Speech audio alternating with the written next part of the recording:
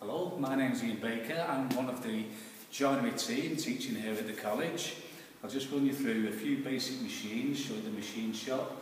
But the, some of the basic machines are what you will be learning how to use safely on the courses. They're used on the furniture course, on the site joinery course, on the bench joinery course, and there are um, some basic machine courses that we run as well. So just to you through, first of all, we get the rough timber in, rough sawn size, work out from your cutting list what size you want, and this is just a basic radial arm crosscut saw. Cut your timber to length, once it's to length, you then take it to its next stage, which would be this is basically a big bandsaw. It's called a resaw, which would put your wood through in its length, and you would nip it down to the required sawn size.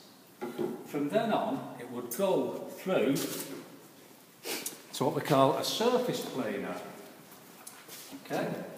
Now a surface planer has a cutter block spinning round obviously, and what you would do is over the cutter block and plane up face side and face edge.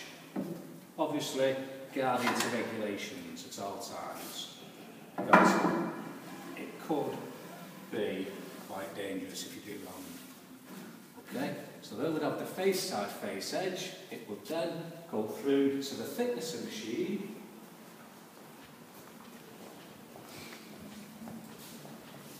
as this piece of tin goes through the thicknessing machine, there's a big cutter block inside, which we can't see, and that would trim it down to its thickness and its width required for the furniture that you will be making.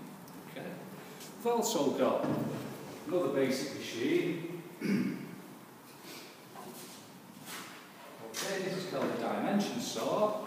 You could use the fence for cutting your panels down to size cut them that way, and then we could use the cross-cut fence for trimming your panel to the required size to make whatever furniture you needed.